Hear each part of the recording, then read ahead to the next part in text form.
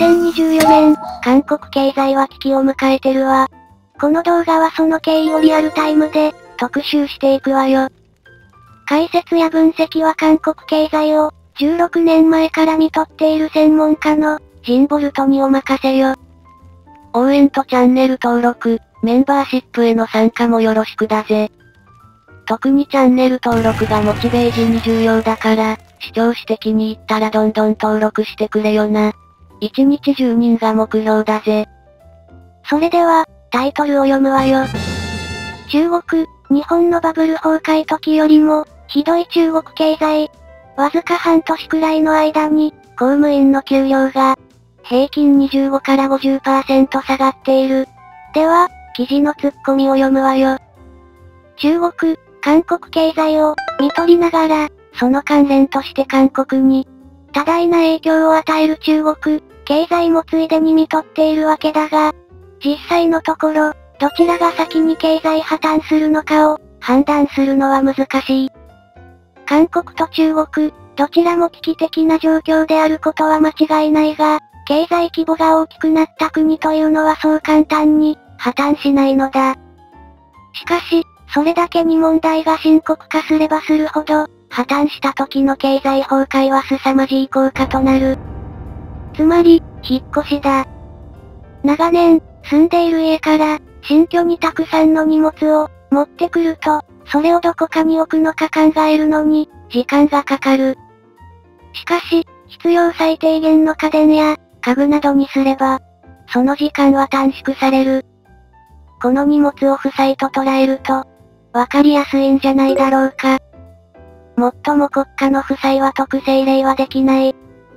ドイツが戦後賠償を数十年払い続けたように、国家が、存続する限り、負債も消えてはくれない。つまり、経済破綻した後に残るのは、莫大な負債だけだ。しかも、IMF のような救済支援だって、国の規模が大きいと事実上不可能だ。中国と韓国はすでに、IMF が救済できる経済規模ではない。だから、韓国は IMF に見捨てられている。あとは自分で何とかしろと。警告はしておいてやる。だから中国経済が崩壊しても、誰も助けてくれない。日本の失われた30年どころではない。一経円とか意味不明な不良債権が、存在する時点で、誰がどうしようが無理な話だ。もう、中国の GDP200% を超えてるのだ。何もしなくても雪だるま式に、膨れ上がる負債処理。なんてできるはずもないし、中国はやろうともしない。そして、そのしわ寄せがどんどん一般市民に、向かっている。それが今回の話題となっている。どうやら、公務員の給料が半年で、平均25から50%下がっているそうだ。マジかよ。50%も下がるとか。公務員は地方政府が雇っていると思うが、それにしても50%も下がるとか。そもそも、中国は簡単に賃金を下げてくるよな。これは労働組合とかがないからか。賃金下げると言っても、それに反対できない仕組みだものな。しかも、本当に給料が払われているかも、怪しい。では、記事を引用しよう。ここの引用は私が読むわよ。地政学、戦略学者の、奥山正史が2月8日、日本放送、信用一可能系、工事アップ、に、出演。中国経済の実態について、解説した。アメリカの輸入相手、中国が17年ぶり首位転落。米商務省が2月7日に発表した2023年の貿易統計によると、アメリカの輸入相手で中国が17年ぶりに首位から外れた。また、日本や韓国、ヨーロッパなどでも中国への貿易依存度が下がっており、2023年までの5年間で中国貿易に占める各国の比率は0.1から2.5ポイントほど、下落した。日本のバブル崩壊時よりも、ひどい中国経済の現状。奥山知り合いのハーバード大学の、シンクタンク研究員が、2ヶ月間ほど中国へ調査に行ったそうです。東京で飛行機を乗り換えるということで、その際に会いました。その時聞いた話では、中国は完全にバブル崩壊の状況で、下手をすると日本の時よりも、ひどい状態だというのです。信用、日本のバブル崩壊よりも、奥山枯葉中国で現地調査を行っているのですが、現地の通訳を雇って、いろいろな人に同じ質問をするのです。あなたの今の給料はここ半年くらいどうですか？この先は明るくなると思いますか？中国経済を全般的にどう思いますか？など、いろいろなところで質問する。しかもお店のオーナーのような人だけでなく、一般に働いている人や、屋台の人たちも含めて、とにかくいろいろな人たちに、話を聞くそうです。公務員の給料が25から50%下がっている。奥山工業化されていて、農業も豊かな全国平均の、都市のようなところがあるではないですか。日本で企業がマーケティングを行うときは、よく、静岡をモデル都市にしますが、そこでのデータを全国平均にするのです。彼の場合、北京の下の方に電車で、3時間半ほど行くと、河南省がありますが、そこでいつもインタビューするそうです。新業、河南省をモデル都市として、奥山彼は2023年3から5月にも、調査しているのですが、わずか半年くらいの間に、経済状況がとんでもないスピードで、悪化していたのです。公務員の人たちの給料が、平均25から50%下がっているそうです。信用、たった半年で。奥山ひどいところだと給料も、払われていない。彼は、中国版の新幹線で色々なところに、行くのですが、ほとんど乗っている人がおらず、今まで外国人が、来ていた上海などの大都市でも、夜7時半になるとお店が、閉まってしまう。本当に彼らがお金を払えないような状況に、陥っているのです。単純に言うと、我々のすぐ隣に経済的なブラックホールができているような状況だと、教えてくれました。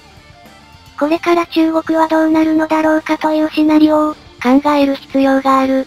奥山これから中国はどうなってしまうのか？というシナリオを、我々は考えなければいけないと、思います。なぜこれほど中国にお金がないかと、いうと、一つには不動産の問題があります。今まで彼らは家計資産の、約8割を不動産に突っ込んでいました。その不動産が飛んでしまい、なおかつ購入したマンションの、建設も止まっている。資産の約8割の価値がなくなったような状態です。それに加えて、給料が半分になるという状況が、大多数の人に出ています。ダボス会議で中国への、投資を訴えたリコは首相。奥山先日、スイスでダボス会議世界経済フォーラム年次総会が、行われましたが、そこで中国のナンバー2と言われる、リコワ首相が中国に、投資してくださいと演説したのです。ダボスには中国側の経済官僚などがたくさん来ていたそうです。自分たちの国が、バブル崩壊時の日本以上に、悪い状況だと分かっているからこそ、外交において積極的に、投資してくれと言いに来たのではないかと、言われています。信用、営業しに行ったということですか？奥山、そうかもしれません。ところがダボスでは、政治的リスクが大きいので、冷たくあしらわれたようです。そう考えると、日本にもこれからデフレ圧力のようなものが、かかってくるかもしれません。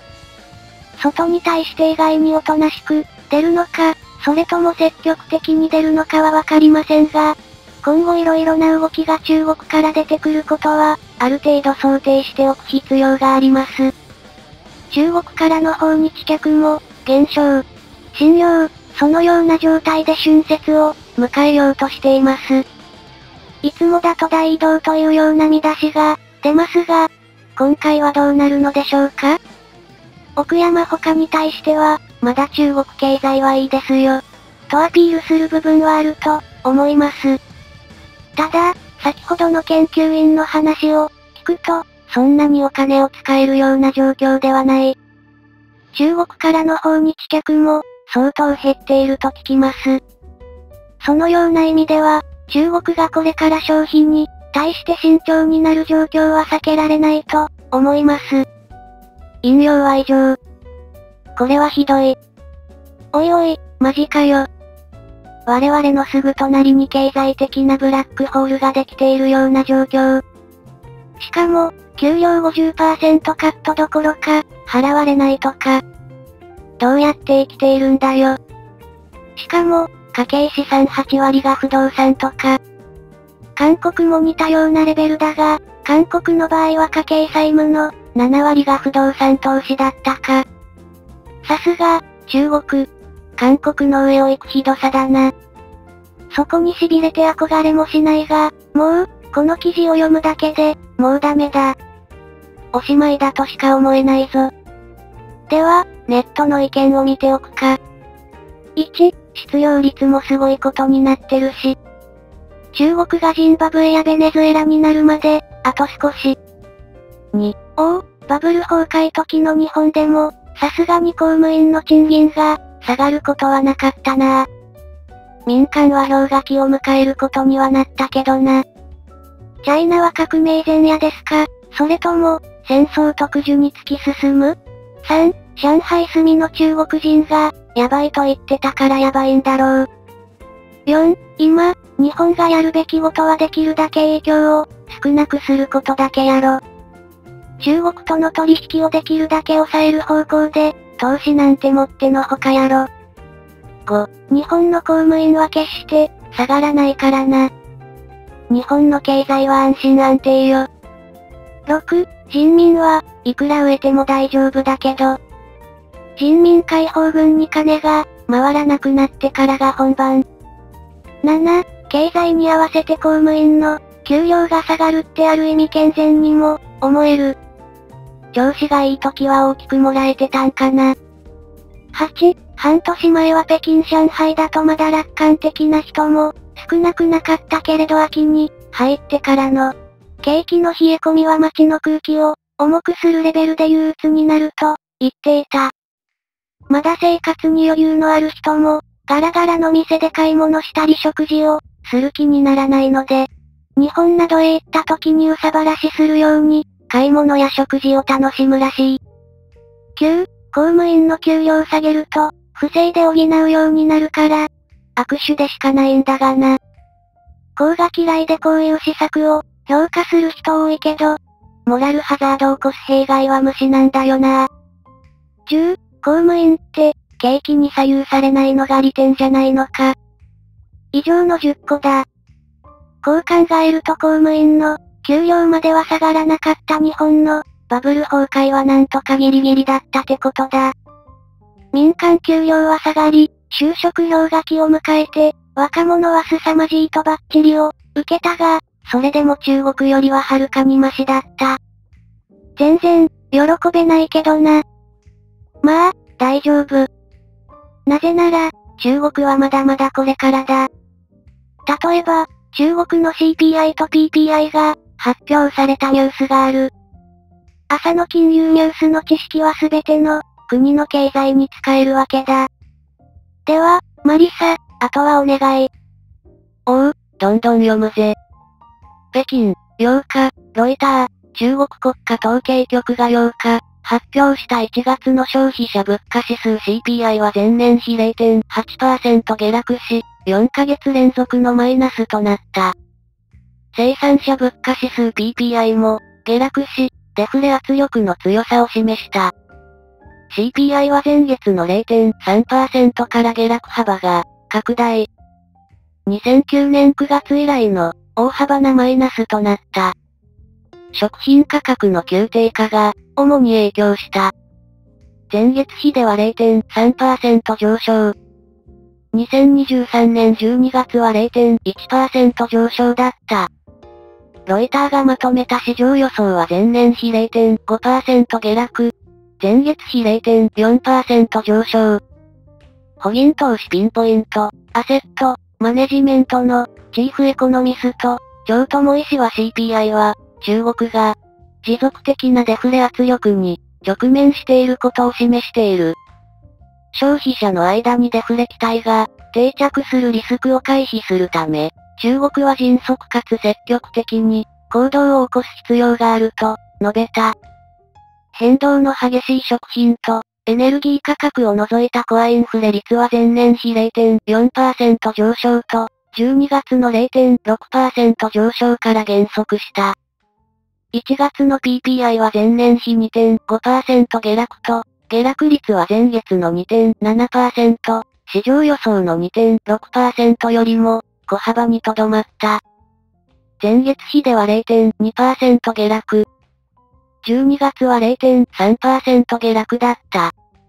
ユニオンバンケールプリブエ香港のアジア担当シニアエコノミスト、カルロス、カサノバ氏は顧客向けノートで、デフレディスインフレは定着しつつある。この下落は、国内消費の低迷を物語っている。株式市場の大幅な売りが、センチメントとそれに伴う消費落ち込みの一因と考えていると指摘した。その上で、中国人民銀行中央銀行はもっと、強力な政策支援を行うべきと指摘。我々は2月に広範な利下げが行われることを望んでいるが、政策余地の乏しさと政策伝達面の問題を考えると、その可能性は依然として低いとした。引用は以上。このようにデフレスパイラルが中国では、まだまだ深刻化している。インフレよりも怖いのはデフレである。もう、デフレが定着しつつあるとか。中国がどこまで CPI や PPI を発表するかは知らないが、これもそのうち公開中止とかになるんじゃないか。それとも、デフレから脱却できるとか、夢を見ているのか。どちらにせよ、その夢はありえない。そもそも不良債権処理が、何も手つかずどころか、その全体規模すら把握できていない。高橋氏も述べていたが、不良債権処理に取り掛からないと、ダメと。でも、中国はそのような動きもなければ、大規模な経済対策もしない。利下げしたところでそこまで大きな影響はない。結局、今の中国経済はどん底を更新中であり、それがいつまで続くかはわからないくらいトンネルを突き進んでいる。その先にあるのは底なし沼に続く崖かもしれない。でも、韓国みたいな借金と少子高齢化で滅びるルートしかないよりはまだマシかもしれない。ええ？そういうのを50歩100歩だって？おっしゃる通りです。ニュースは以上。霊夢、公務員の給料って下がるんだな。そうね。日本では下がらないから安全だと、思ってたけど、それは日本だけだったと。でも、どれだけ給料を下げても、それで消費は減るから、余計、オワコンじゃないのか。そうなのよね。給料下げれば購買力は低下するから、お金が回らない。これもデフレの要因になるわ。まあ、何しようがデフレスパイラルからは抜け出すのは、難しいわよ。日本が特別ってわけじゃないわ。といったところで今回はおしまい。ご視聴ありがとうございます。次の動画を見てください。チャンネル登録を、よろしくだぜ。それでは次回、バイバイ。